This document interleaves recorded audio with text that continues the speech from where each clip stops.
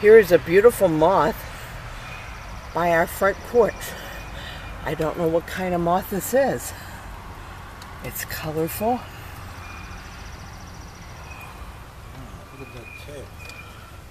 Look at that. Isn't that breathtaking? Isn't that breathtaking? Beautiful.